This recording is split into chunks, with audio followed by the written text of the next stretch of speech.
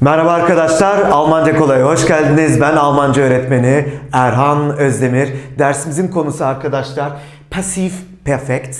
Pasif e, hatırlayacak olursak arkadaşlar bunu A1 A2 konusunda görmüştük ayrıntılı bir şekilde. Burada bu sefer bunun perfect halini görüyoruz.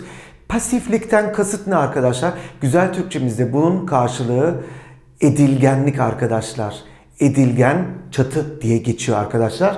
Dilerseniz örneğimizle başlayalım. Ne demek istediğimizi burada çok daha iyi bir şekilde gösteriyor olacağız size arkadaşlar. Evet. Şimdi arkadaşlar aktif cümle ve pasif cümle var. Şimdi aktif cümle baktığımızda nedir arkadaşlar? Aktif cümle düzenli bir cümle. Yani öznenin olduğu, yüklemin olduğu ve düzenli e, bir kuruluşu olan cümle diye geçiyor. Öncelikle aktif cümlemize bir bakalım arkadaşlar. Die Mutter hat das Essen gestern Abend gekocht. Evet bu cümle bize ne diyor? Die Mutter, anne değil mi? Das Essen, yemek. Gestern Abend, dün akşam. Bakın arkadaşlar burada hat gekocht Burada perfect bir yapı söz konusu. Kochen neydi? Pişirmek demekti. Geçmiş zamanda ne oluyor bu? Hat gekocht oluyor. Gördüğünüz üzere olağan bir cümle yani aktif bir cümle. Demek ki die Mutter hat das Essen gestern Abend gekocht. Aktif bir cümleymiş. Ne anlama geliyormuş? Anne yemeği dün akşam pişirdi. Şimdi ben bunu pasif olarak değerlendirecek olursam, inceleyecek olursam ne oluyor pasiflikte? Bakın pasiflikteki olay şu arkadaşlar. Özneyi yok sayıyorum. Diyeceğim ki şimdi e, dün akşam yemek pişirildi. Kim tarafından söylenmiyor. Demek ki bu edilgen çatı kapsamında olmuş oluyor. Dolayısıyla ne yapacağım arkadaşlar? Das Essen ist gestern Abend gekocht worden. Bakın buradaki olay ne biliyor musunuz arkadaşlar? Buradaki olay sein'ı getiriyorum. Partizip 2 olarak gekocht buraya geliyor ve worden'i getiriyorum. Yani ben pasif perfect yaptığımda arkadaşlar sein'ı getiriyorum. Partizip 2 e, yani perfect yapıyor gibi partizip 2'yi getiriyorum. Yanına da mutlaka voden'i getiriyorum. Tıpkı modal fiillerde hatırlayacak olursanız ne yapıyorduk? Onu getiriyorduk ya tek başına bir fonksiyonu olmuyordu. Burada da voden'i yardımcı fiil kapsamında mastarda ama mastarda bırakıyorum arkadaşlar. Demek ki sein bu ist olabilir ya da sind olabilir e, tekil ya da çoğul durumuna göre. Partizip 2 ve worden şeklinde e, kullanıyorum. Kuralımız bu arkadaşlar. Evet, dolayısıyla pasif yaptığımda bu cümleyi ne yapacakmışım? Das Essen, yemek, ist gestern Abend, dün akşam pişirildi, gekocht worden demiş oluyorum. Burada demek ki die Mutter bunu yok saymış oluyor. İkinci örneğe bakalım arkadaşlar. Das Zimmermädchen hat die Betten heute früh gemacht. Bunu bir anlamlandıralım arkadaşlar. Das Zimmermädchen otellerde temizlik hizmeti veren Açıkçası ben bunun Türkçe karşılığını birebir bilmiyorum ama housekeeping diye geçen arkadaşlar das Zimmermädchen hat die Betten das Bett yatak demekti. Yataklar derken die Betten demiş oluyoruz arkadaşlar. Heute früh bu sabah demek arkadaşlar. Demek ki heute bugün früh bu sabah, bu sabah erkenden anlamında. Machen'de ne olmuş arkadaşlar? Gemacht olmuş.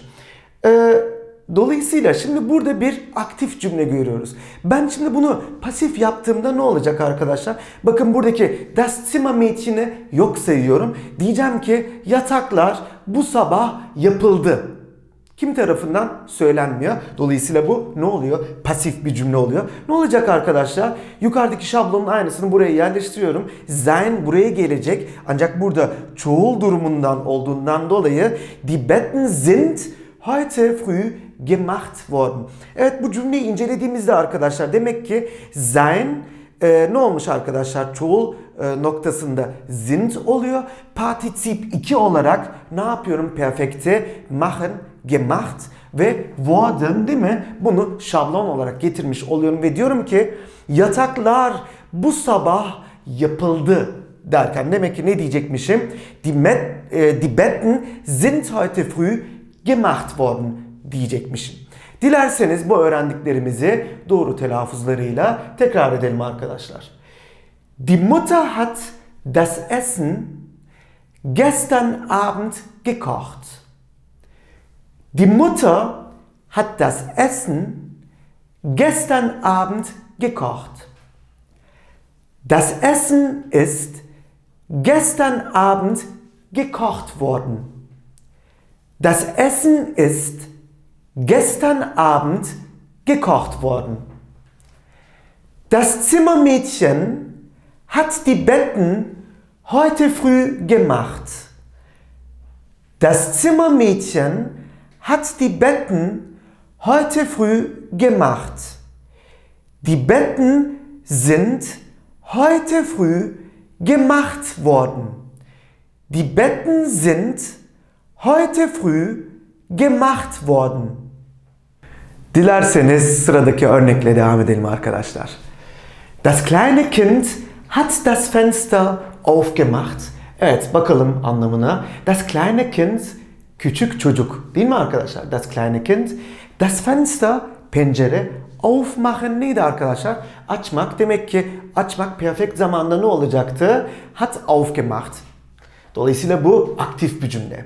Şimdi bunu pasif bir cümle haline getirdiğimizde pencere açıldı diyeceğiz. Kim tarafından söylenmiyor.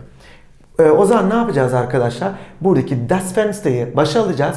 Das Fenster ist aufgemacht worden. Ne olmuş arkadaşlar? Sein fiili çekimlenmiş. Neye göre? Pencereye göre yani das Fenster'e göre. Das Fenster ist aufgemacht worden. Evet partizip 2'yi tekrar buraya yerine koyuyoruz ve şablonumuz olan yardımcı eylemimiz worden mutlaka yerleştirmiş oluyorum. Böylelikle pasif perfect yapmış oluyorum. Dolayısıyla pencere açıldı derken ne diyecekmişiz arkadaşlar? Das Fenster ist aufgemacht worden. Evet. Devam edelim arkadaşlar. Alle Schüler haben das Buch von Hermann Hesse letzten Sommer gelesen. Evet bunun anlamı ne arkadaşlar? Alle Schüler, e, bütün öğrenciler değil mi arkadaşlar? Das Buch von Hermann Hesse, evet çok sevdiğim bir yazar arkadaşlar. Okumanızı, okumanızı da şiddetle tavsiye ediyorum Hermann Hesse. Ee, evet, Hermann Hesse'nin kitabı derken Das Buch von Hermann Hesse letzten Sommer, geçen yaz, evet lesen, geçmiş zamanda ne olacak arkadaşlar? Haben gelesen. Bu cümle ne diyor bize? Tüm öğrenciler geçen yaz Hermann Hesse'nin kitabını okudular. Dolayısıyla alle Schüler haben das Buch von Hermann Hesse letzten Sommer gelesen. Şimdi burada ne yapacağız arkadaşlar? Bunu pasif yaparken arkadaşlar buradaki alle Schüler bunu yok sayacağım. Ee, Hermann Hesse'nin kitabı geçen yaz okundu. Kim tarafından belli değil. Dolayısıyla pasif yapmış oluyorum. Edilgen yapmış oluyorum. Ne yapacağız bu sefer arkadaşlar? Buradaki yapıyı buraya taşıyacağım. Diyeceğim ki Das Buch von Hermann Hesse ist letzten Sommer, geçen yaz gelesen worden, okundu. Yani das Buch von Hermann Hesse ist letzten Sommer gelesen worden. Hermann Hesse'nin kitabı geçen yaz okundu demiş olacağız. Dilerseniz bu öğrenmiş olduğumuz cümleleri doğru telaffuzlarıyla tekrar edelim. Das kleine Kind hat das Fenster aufgemacht. Das kleine Kind hat das Fenster aufgemacht. Das Fenster ist aufgemacht worden. Das Fenster ist aufgemacht worden. Alle Schüler haben das Buch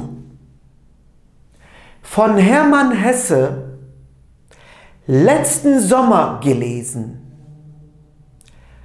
Alle Schüler haben das Buch von Hermann Hesse letzten Sommer gelesen. Das Buch von Hermann Hesse ist letzten Sommer gelesen worden. Das Buch von Hermann Hesse ist letzten Sommer gelesen worden. Sonraki örnekle devam edelim arkadaşlar. Die Kfz-Mechatroniker haben das Auto in Wolfsburg gebaut. Ne demek istiyor bu cümle arkadaşlar? Die Kfz-Mechatroniker Mechatronika e, güzel Türkçemizde de artık mekatroniker, mekatronik teknikeri diye geçiyor. Bu e, açıkçası arkadaşlar tekniker demek. Kfz Mechatronika da aslında araba tamircisi anlamında arkadaşlar. E, das Auto zaten adı üstünde araba demek. In Wolfsburg, bu arada arkadaşlar ufak bir bilgi. Wolfsburg arabanın Almanya'da e, merkezi çok e, önemli bir e, şehri. Zaten araba şehri diye geçer Wolfsburg. Bilenler bilecektir. E, Bauen Bakın burada gebaut haben gebaut olmuş. Bauen arkadaşlar yapılandırmak, yapmak anlamında kullanılıyor. Yani bir e, evi inşa etmek anlamında da gene bauen kullanılmış oluyor. Buradaki e, anlamı araba yapmak arkadaşlar. Yani bu cümle bize ne diyor? E, araba tamircileri arabayı Wolfsburg'da yaptılar diyor bu cümle. Dolayısıyla die Kfz-Mechatroniker haben das Auto in Wolfsburg gebaut.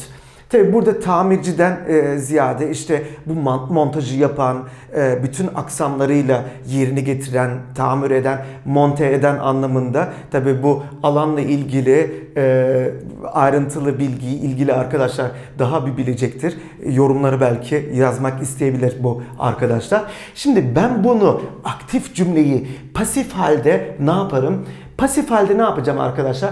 Buradaki die Kfz Mechatronika bunu yok sayacağım ve diyeceğim ki araba Wolfsburg'da yapıldı. Ne diyeceğim o zaman? Das Auto ne olacak arkadaşlar? Ist değil mi? In Wolfsburg, Wolfsburg'da yapıldı.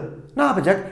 Partizip 2 şeklinde bauen ne olacak? Gebaut worden diyeceğiz. Dolayısıyla das Auto ist in Wolfsburg gebaut worden. Araba Wolfsburg'da yapıldı diyeceğim.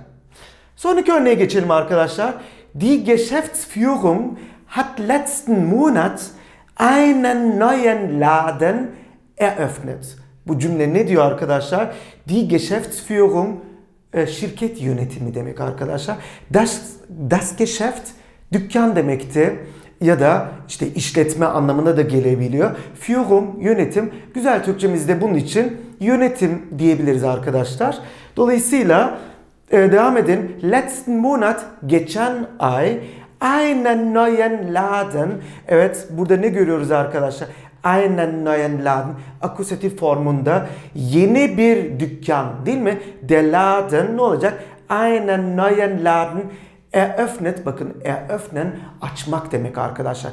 Açılış, açmak anlamında. Yani bu cümle bize diyor ki şirket yönetimi geçen ay yeni bir dükkan açtı. Demek ki eröffnen mastar halde geçmiş zamanda yani perfect halde ne olacakmış arkadaşlar? Hat eröffnet e, şeklinde karşımıza çıkıyor. Perfect zamanda arkadaşlar hatırlayacaksınız ben size şunu söylemiştim. Eee erle, fe'le, b ile başlayan e, fiillerde ne yapıyorduk? Bunu aynı şekilde e, koruyorduk ve sonra t getiriyorduk. Bakın böyle bir durum söz konusu bu fiilde. Demek ki eröffnen hat eröffnet oluyor. Peki biz şimdi biz bu e, aktif cümleyi pasif yapacak olursak ne yaparız? Pasif yaptığımızda ne yapacağız arkadaşlar? Buradaki özneyi yok sayacağız. Yani buradaki die Geschäftsführung bunu kaldıracağız. Ne diyeceğiz arkadaşlar? Ee, yeni bir dükkan geçen ay açıldı. Ne diyeceğim o zaman? Ein neuer Laden ist letzten Monat eröffnet worden. Bakın yeni bir dükkan geçen ay açıldı derken ein neuer Laden ist letzten Monat eröffnet worden. Burada ufak bir ayrıntı var. Fark ettiniz mi arkadaşlar? Burada einen neuen Laden yeni bir dükkanı derken akusatif bir form var. Ancak buraya geçtiğimizde pasif yaptığımızda buradaki akusatif form artık tekrar e, ne oluyor arkadaşlar? Düz bir hal alıyor. Yani e, ismin iyi halinden ne oluyor? Nominatif bir durum söz konusu oluyor. Dolayısıyla der Laden ne olacak? Ein neuer Laden şeklini alıyor. Bu ufak ayrıntı gibi gözükse de aslında büyük bir ayrıntı e, nominatif olarak karşımıza çıkmış olduğunu fark etmişsinizdir. Dolayısıyla ne olacak burası arkadaşlar? Ein neuer Laden, yeni bir dükkan açıldı geçen ay. Ne olacak? Ein neuer Laden ist letzten Monat eröffnet worden demiş olacağız. Dilerseniz bu öğrenmiş olduklarımızı doğru telaffuzlarıyla tekrar edelim. Die Kfz-Mechatroniker haben das Auto in Wolfsburg gebaut. Die Kfz-Mechatroniker haben das Auto in Wolfsburg gebaut. Das Auto ist in Wolfsburg gebaut worden. Das Auto ist in Wolfsburg gebaut worden. Die Geschäftsführung hat letzten Monat einen neuen Laden eröffnet. Die Geschäftsführung hat letzten Monat einen neuen Laden eröffnet. Ein neuer Laden ist letzten Monat eröffnet worden. Ein neuer Laden ist letzten Monat eröffnet worden. Evet arkadaşlar bir dersimizin daha sonuna geldik. Bu dersimizde pasif perfekti ayrıntılı bir şekilde gördük. Pasiflik tabii ki burada kalmayacaktır arkadaşlar. Çünkü bunun çeşitli zamanları var. Bunun için mutlaka kanalımıza abone olalım arkadaşlar. Beğenelim, paylaşalım, yorum bırakalım ve burada bu bildiri zilini mutlaka tıklayalım ki arkadaşlar sonraki e, ders videolarını takip edebilelim. Sonraki dersimizde görüşmek üzere. Hoşçakalın.